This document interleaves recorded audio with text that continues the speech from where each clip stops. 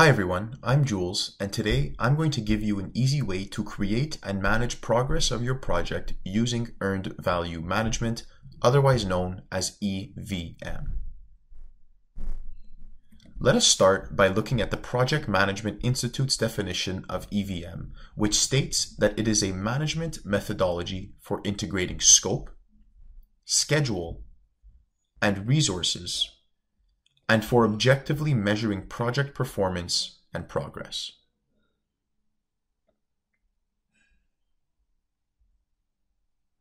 Now, what is it that EVM does exactly? Well, EVM is a way to manage project risk by measuring project progress. It is also a comparison between actual cost and budgeted costs to determine the variance and predicted future performance. And lastly, each project task earns value as the planned work is being completed. Now, through EVM, here are the questions that you should be able to answer.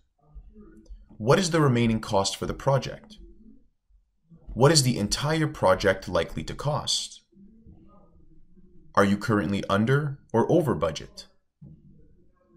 How much will you be under or over budget at the end?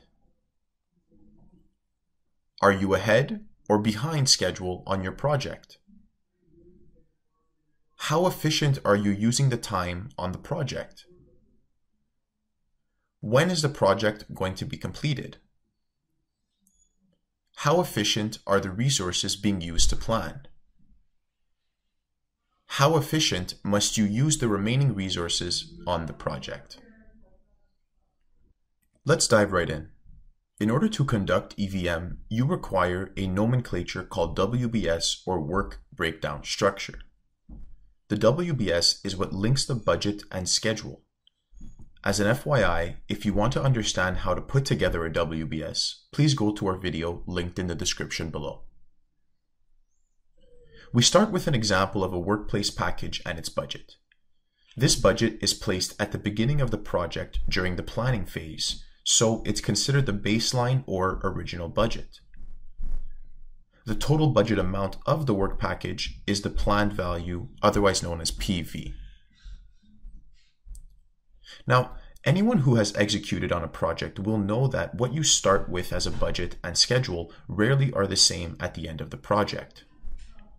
There are changes which occur during the execution of a project, so we need to take into account that there is a probability that this will occur to the budget. Therefore, you can see I added two more columns, one for any changes to the budget and the current budget.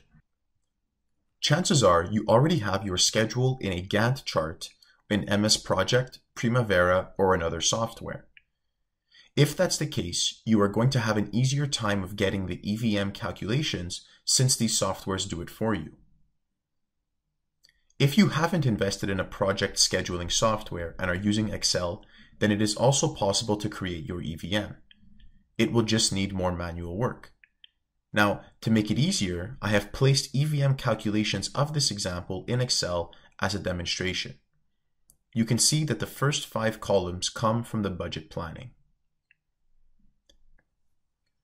To tie the schedule to the budget, place the timeline in the title bar.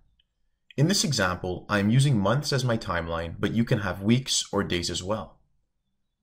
When a certain task is worked on, then you know you spent money performing the work. This is resource cost, which can be materials, people, or equipment. For instance, the first task to be worked on in March will be the time of a person to acquire raw materials so I'm estimating $10 worth of my current budget will be spent. The materials should then arrive in April, so the cost of the materials is $40. Using this logic, place how the current budget will be spent each month. Basically, you are placing the total amount you are estimating will be spent in a given month based on the work to perform. As you do this, you will find the planned value total being spread out and the cumulative budget amounts become the budget at complete for each of the months, otherwise known as BAC. You can see the curve showing you how you plan to spend the money during the execution phase of your project. On that point, During the execution phase, things happen and you may see iterations or changes to the project's budget. For instance, you may be approving additional costs or additional tasks are added to your work package. In this example, I have placed two changes to show you how change is incorporated in your budget and schedule. As you can see, in February, a new task 6 was added by the customer, and in March, a change order to task 3 occurred, adding more funds to the task. Now, the BAC goes from $345 to $370.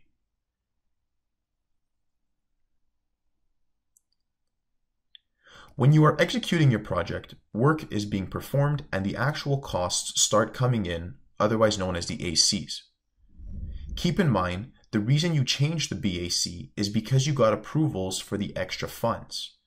In execution, you can also end up spending more money on a task. If the customer is not willing to pay for it, you end up with cost overrun or more costs absorbed, making the project less profitable.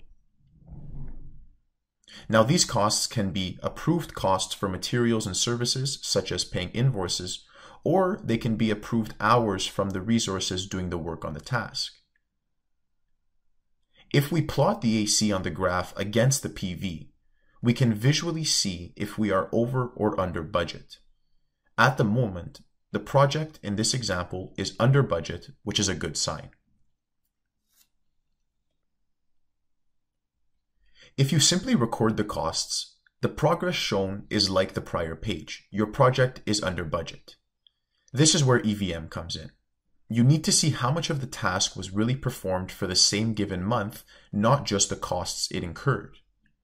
So, keeping to the same example, use the percent complete from your schedule to calculate EV, which is multiplying the PV with the percent complete.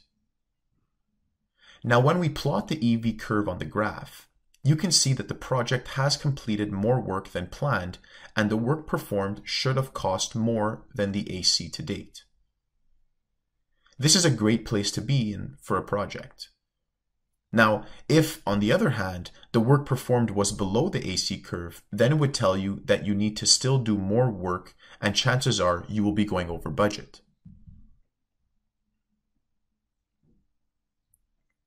Remember when I was talking about scheduling softwares? This is where they become handier than using Excel. In Excel, you will need to calculate the deltas to see where your project is going, while with the scheduling software, it calculates it for you. Here are the calculations for the cost variance and scheduling variance.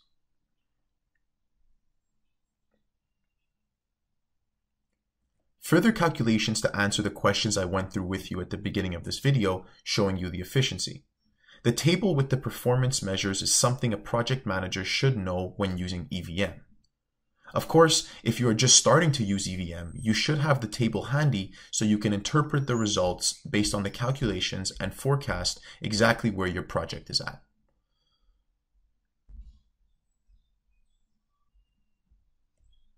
Estimate to complete and estimate at complete are common acronyms in EVM.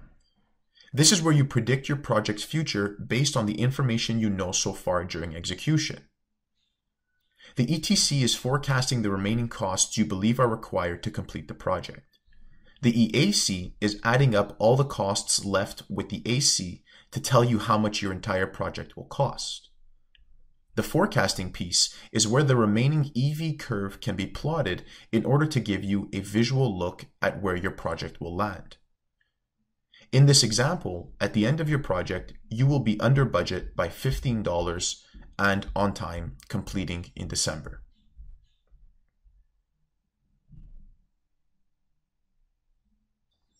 What you now have in front of you are additional calculations for forecasting and will answer the questions how much will the project be under or over budget?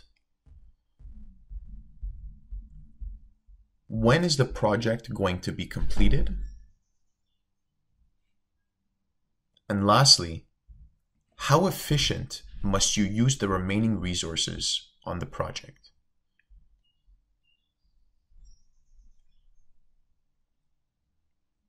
Just like the performance measure table I showed you a couple of slides ago, this EVM graph is something you want to have handy while you are learning how to interpret EVM. This shows all of the information we calculated prior in the example. Finally, here were the questions we had gone through at the beginning of this video.